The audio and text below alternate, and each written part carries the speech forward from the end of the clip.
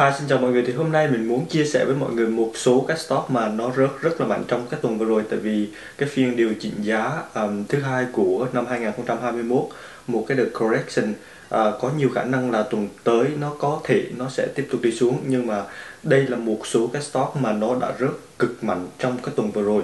Um, thì trong những stock này có những stock về uh, clean energy và một số uh, technology stock khác. Uh, và nếu bạn nào muốn nắm bắt cơ hội để mua những stock để đầu tư cho long term thì đây có thể là một cái dịp rất là tốt để mà mua.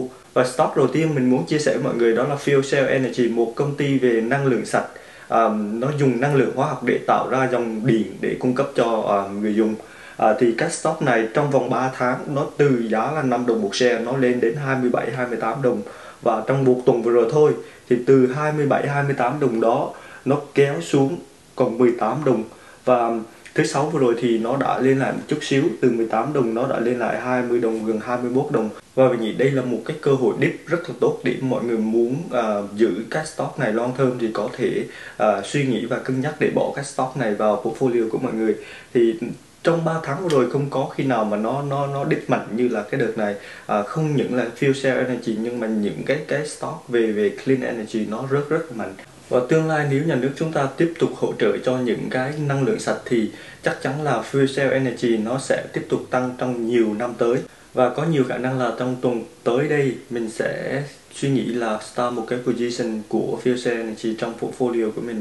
Stock thứ hai cũng là một stock về energy sector thì stock này cũng à, nó cũng công ty này cũng focus rất là nhiều vào vào những cái năng lượng sạch như là năng lượng mặt trời và và năng lượng gió. À, nhưng mà cái công ty này nó đã có um, lịch sử lâu đời rồi và nó đã là một công ty nó đã vững chắc rồi. Nó cũng trả tiền dividend luôn. Và công ty này thì mình cái stock này mình cũng đã có ở trong portfolio của mình rồi thì nếu bạn nào xem video mình thì chắc cũng biết cái về cái stock này đó là cái Next Era Energy. Thì các stock này như mình đã nói là nó rất là ít khi mà nó xuống. Thì trong 5 năm vừa rồi cái return của các stock này là 178% và trước khi cái dip này thì stock của nó giá của nó là khoảng 86 đồng, 8 gần 87 đồng và sau một tuần vừa rồi khi mà cái market correction nó điều chỉnh giá lại thì stock này hiện tại bây giờ là chỉ là 78 đồng thôi. Cái average cost của mình với các stock này là khoảng 75 đồng và mình vẫn còn lời một chút xíu.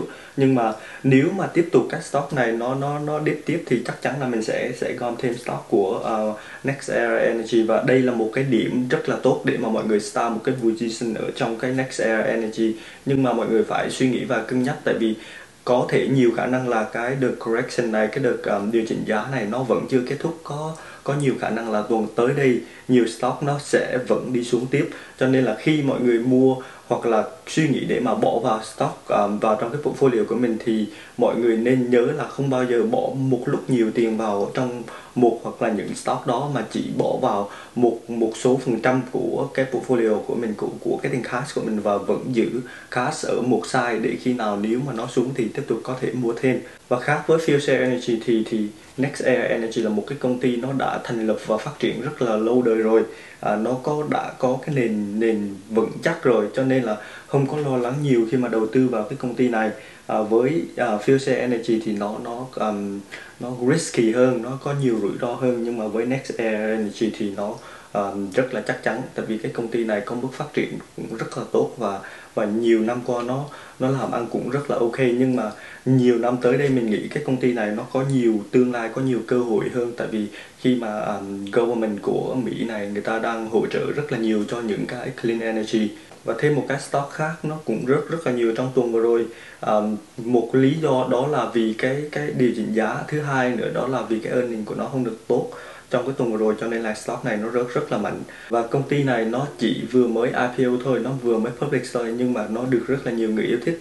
Đó là cái cái Palantir. Thì Palantir là một cái công ty về um, thu thập và và xử lý thông tin. Sau đó nó cung cấp những cái thông tin này cho người dùng cho khách hàng của nó. À, và có một điều đặc biệt về Palantir đó là những cái khách hàng chính của Palantir của các công ty của các stock này là 65% là của government. Những cái công ty sử dụng nó là có FBI này những cái tổ chức của nhà nước FBI, CIA và quân đội của Mỹ. Như mình đã nói Palantir nó collect những cái information sau đó nó xử lý những cái thông tin đó và nó cung cấp cho những cái khách hàng của nó đặc biệt là những người um, cho government.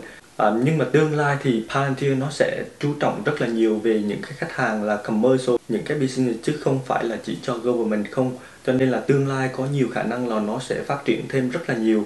À, thì cái stock này tuần trước thì giá của nó là khoảng 38 39 đồng và sau khi earning nó ra cộng với thêm cái đợt điều chỉnh giá này thì giá stock của nó rớt xuống rất là mạnh.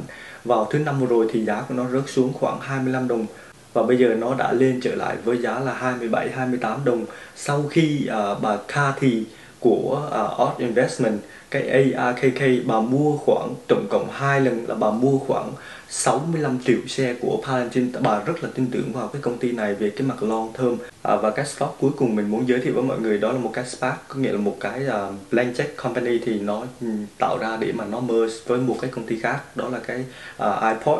Thì uh, các stock này là của ông à, um, Charman thì ông này là một một người có thể nói là ông không có cái vấn đề gì về việc kiếm tiền. Kiếm tiền rất là dễ dàng. Ông đụng vào cái nào là cái cái đó ra tiền cho ông. Thì ông cũng là một người uh, giúp đỡ cho uh, Virgin Galactic và và Open Door ra um, IPO. Um, và ông này cũng có một cái dự đoán là là là Bitcoin sẽ lên 100 ngàn uh, trong những cái năm tới đây.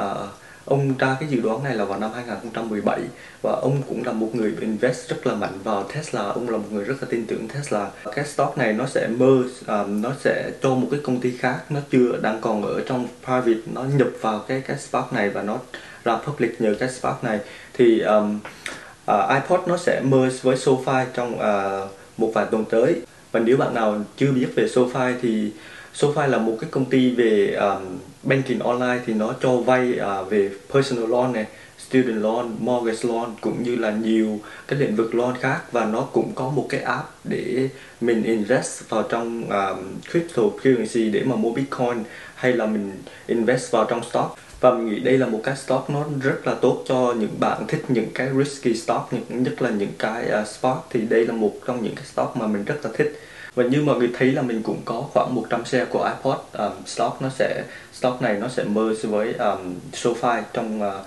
có thể là một vài tuần tới. Thì mình vẫn đang còn lỗ khoảng 1.5% và mình nghĩ đây cũng là một cái giá rất là tốt để mà mua cái uh, Spark này vào thì um, cái market cap của cái này bây giờ là khoảng 2 billion thôi. Nhưng mà người ta estimate cái market cap của SoFi là khoảng 8 tỷ 8 billion. Thì mình nghĩ là nếu mà sau khi mà nó merge và everything uh, smooth rất là dễ dàng để cho cái stock này nó lên triple hoặc là double. Và vừa rồi là những cái stock mà mình đang rất là quan tâm và chú ý để mà mà quan sát trong cái tuần tới đây. Nếu mà market nó tiếp tục dip thì đó là một cái cơ hội rất là tốt để mà uh, bỏ những cái stock này vào trong portfolio của mọi người những cái stock này là những stock nó lên rất là nhanh. Nhưng mà những stock lên nhanh thì thường thì xuống rất là nhanh cho nên mọi người nên cân nhắc trước khi bỏ tiền nhiều vào trong những uh, stock này. Cảm ơn mọi người đã theo dõi video của mình.